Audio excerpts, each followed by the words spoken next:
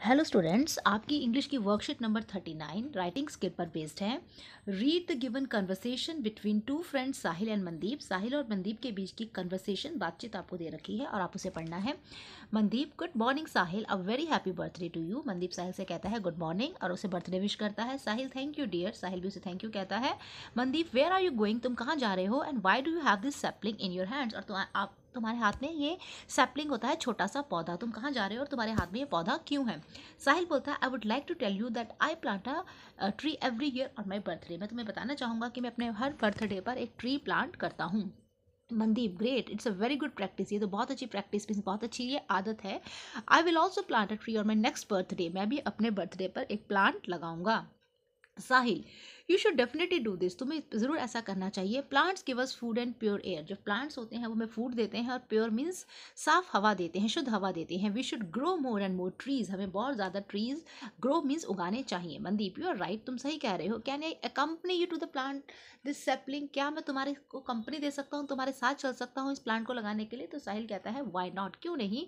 It's my pleasure Mandeep thank you dear फिर वो उसे थैंक यू कह देता है। यहाँ पर हमारे दो फ्रेंड्स के बीच की कन्वर्सेशन कंप्लीट हो जाती है। इस कन्वर्सेशन में हमें ट्रीज़ की इंपॉर्टेंस पर स्ट्रेस दिया गया है अब आपको एक पोस्टर दिया गया है। इस पोस्टर में क्या लिखा है? Every day I supply oxygen for up to four people don't you think I am worth saving हर रोज़ मैं चार लोगों को ऑक्सीजन सप्लाई करता हूँ। आपको नहीं लगता कि मैं वर्थ सेविंग हूँ? मुझे बचाना चाहिए।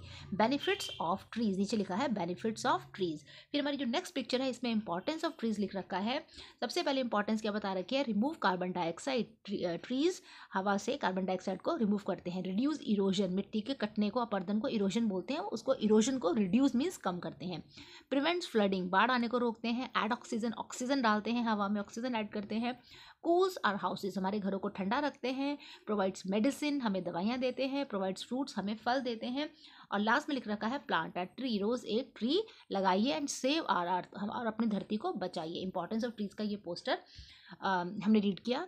और एक और पोस्टर दे रखा है जिसमें लिख रखा है सेव द प्लानट प्लानट को बचाइए। Now look at the pictures अब इन पिक्चर्स को आपको देखने को बोला है और बोला है uh, कुछ पॉइंट्स सोचने के लिए बोला है। पहला है why do we need trees हमें ट्रीज क्यों चाहिए? बिकॉज़ ये सारे पॉइंट्स आ जाएँगे। ट्रीज कार्बन डाइऑक्साइड रिमूव करते हैं ऑक्सीजन इरोजन को रिड्यूस करते हैं फ्लडिंग को प्रिवेंट करते हैं ऑक्सीजन ऐड करते हैं, हमारे हाउसेज को कूल करते हैं मेडिसिन देते हैं फ्रूट्स देते हैं। सेकेंड है what is the role of the trees in our environment हमारे इन्वायरमेंट में ट्रीज का क्या रोल है? तो तक trees remove carbon dioxide trees reduce soil erosion ये सब पॉइंट्स आ सकते हैं। फिर what do trees give us trees हमें क्या देते हैं? तो उसमें आप लिख सकते हैं फ्रूट्स देते हैं मेडिसिन uh, देते हैं ये पॉइंट्स लिख सकते हैं। फिर है what will happen if trees are cut for the sake of development क्या होगा अगर हम पेड़ों को अपने डेवलपमेंट के लिए काट लेंगे? सोचिए इस पर हम क्या आंसर लिख सकते हैं कि जो अगर हमारी जो अर्थ है वो बैरन हो जाएगी बिल्कुल बंजर हो जाएगी और they will be no life without trees पेड़ों के बिना कोई लाइफ नहीं होगी। तो इन सब पॉइंट्स को सिर्फ़ आपको you have to think over this point इसमें आपको कुछ लिखना नहीं है सिर्फ़ आपको इनके बारे में सोचना है। अब आपका जो राइटिंग टॉपिक है, वो क्या है? You have to write a paragraph paragraph लिखना है आपको इंपॉर्टेंस ऑफ़ ट्रीज आपको टॉपिक दे रखा है इस पर आपको पैराग्राफ लिखना है। इंपॉर्टेंस ऑफ़ ट्रीज इस पर पैराग्राफ हम किस तरह से लिख सकते हैं? एटी टू हंड्रेड वर्ड्स में आपको लिखना है। शॉर्ट ही पैराग्राफ बनाना है। Trees are the best gift of nature to us trees हमारे नेचर के सबसे अच्छे गिफ्ट हैं, सबसे अच्छे उपहार हैं। They makes the environment beautiful हमारे इन्वायरमेंट को, हमारे पर्यावरण को, वातावरण को वो सुंदर बनाते हैं, हरा भरा बनाते हैं ग्रीन बनाते हैं। Trees give us wood trees हमें वुड देते हैं शेड देते हैं फ्रूट्स देते हैं वेजिटेबल्स देते हैं मेडिसिन दवाइयाँ देते हैं शेड का मीनिंग होता है छाया देते हैं एंड लाइफ गिविंग ऑक्सीजन और जीवनदायिनी ऑक्सीजन देते हैं। ट्रीज प्रोवाइड शेल्टर शेल्टर का मतलब होता है शरण देते हैं, जिसके जैसे कि पेड़ों पर जो बर्ड्स होते हैं वो नेस्ट बनाते हैं तो they provide shelter to birds and animals animals और बर्ड्स के होम हैं ट्रीज घर हैं उनके। Trees are important for our survival survival means हमारे जीने के लिए ट्रीज बहुत इंपॉर्टेंट है।